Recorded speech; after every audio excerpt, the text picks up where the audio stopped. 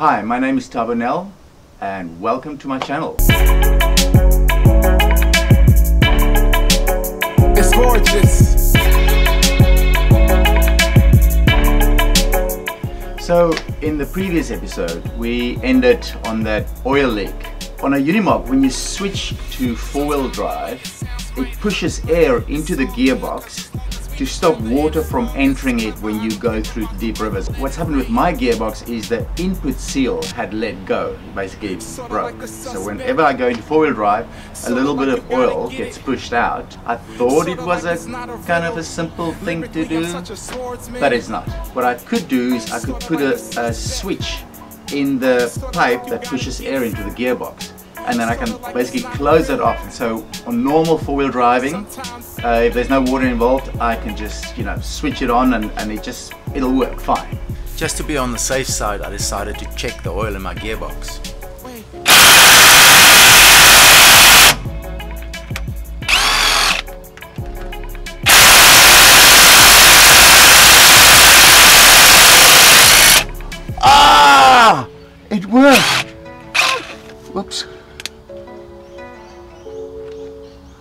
Okay. Whoa, whoa, whoa.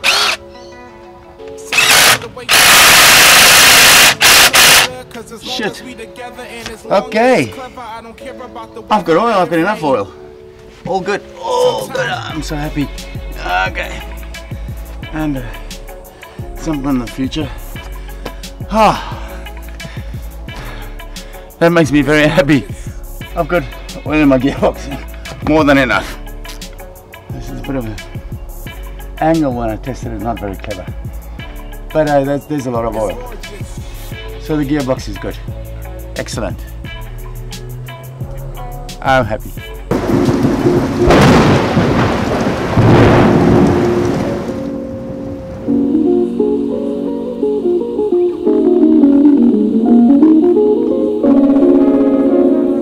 So in my first video, I said that, you know, I would let people into my life a little bit.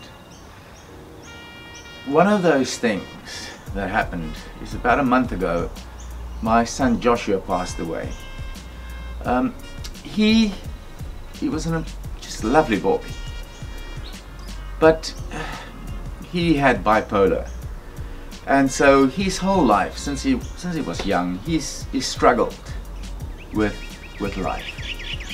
Um, he he got into trouble a lot. He moved from school to school. He found it really difficult adjusting to the to the you know to the structures of normal schooling, and um, and he got into trouble with you know with with the police, and he got into trouble with addiction because uh, that's one of the problems with bipolar is self-medication. Josh struggled. Um, when he was good, he was amazing. And when he was bad, he was bad. Um, he got into some serious trouble in Australia, so I thought, as a circuit breaker, I will send him to South Africa, which is, I've, I've got a very large family in South Africa, and I thought, you know, if he spends some time there, get a different perspective on life, see different things, travel, maybe that could take him out of this. I mean, I was probably completely wrong because you know you are who you are. And for a while there it was actually amazing.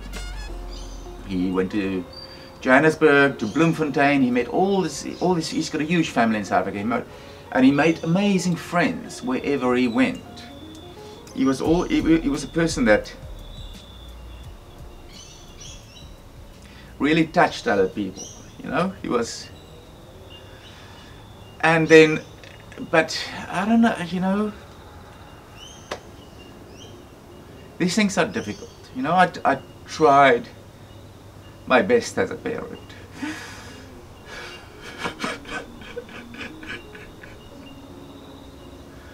You know hindsight is a wonderful thing. You can always afterwards say I should have done this I should have done that.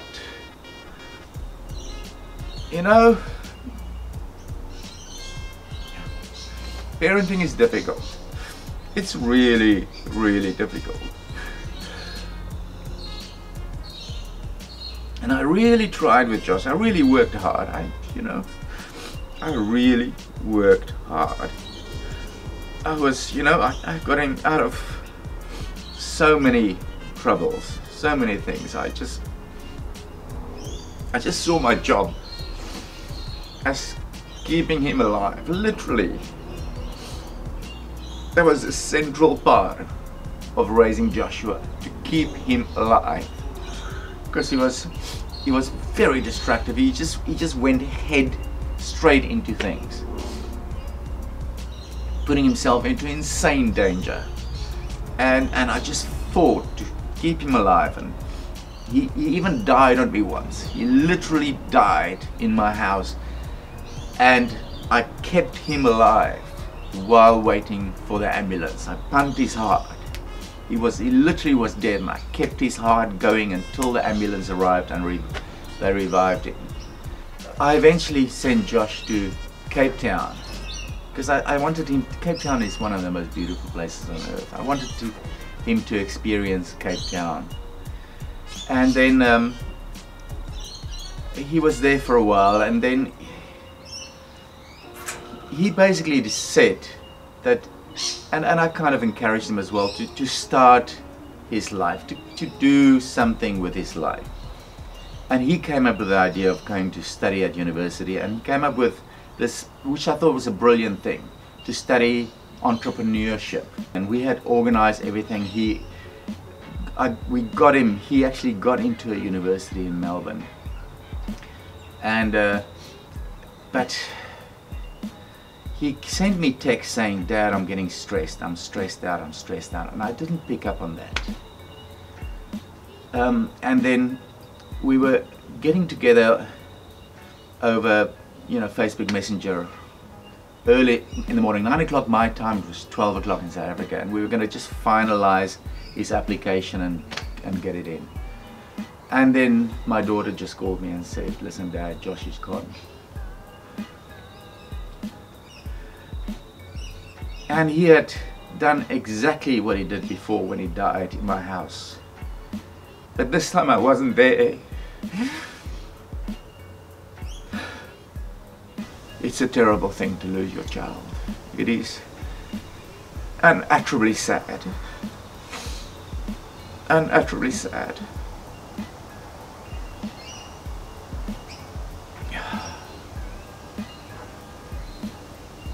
He had just turned 21. And he was wonderful, wonderful boy.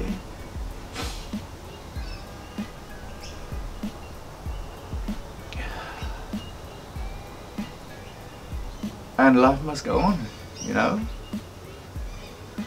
I have a lovely daughter and she'll come with me on this trip, on this adventure for a bit. And yeah, life goes on. That's it.